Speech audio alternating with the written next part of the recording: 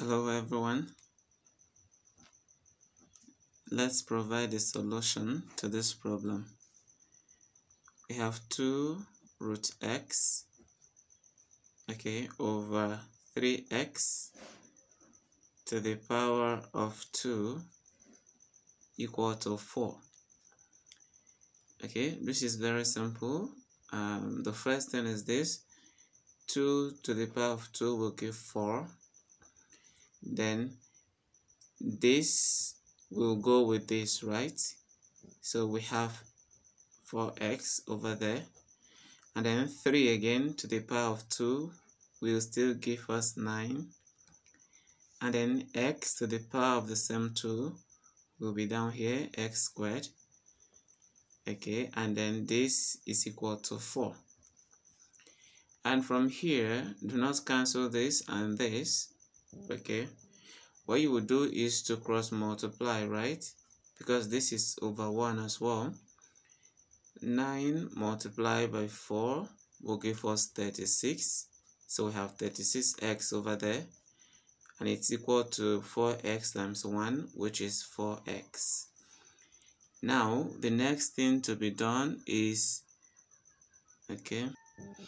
The next thing here is to bring this to the left so we have 36 x to the power of 2 minus 4x equal to 0 and if this is the case then I can factor out um, 4x because 4 can be found in this and it's there.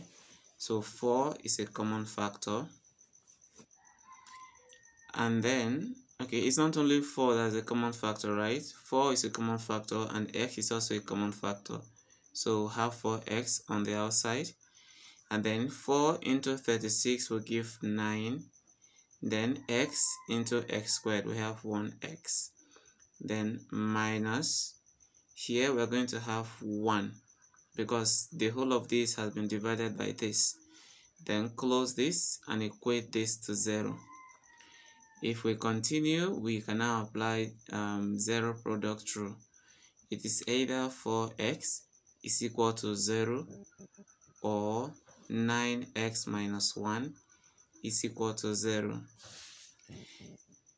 from here x will be 0 over 4 or on this side 9x is equal to 1 x from here is equal to 0 because 0 divided by 4 is 0 or on this side x is equal to 1 over 9 so we can conclude that x is equal to 0 or 1 over 9 but I would like to put this back into the equation to see if these two values of x will satisfy the equation 2 root x over 3x to the power of 2 equal to 4 if I put 0 in here it will be 2 times 0 over 3 times 0 now it's going to be 0 squared which will never give 4 right?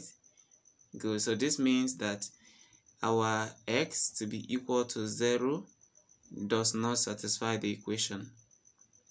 But then let's put in the value of um, x as 1 over 9. So this is going to be 2 square root of 1 over 9 because x is 1 over 9. Then over 3 multiplied by 1 over 9. Now the whole of this will be squared. Now will this give us 4? as the answer let's continue right this is 2 multiplied by square root of 1 is 1 and square root of um, 9 is 3 right?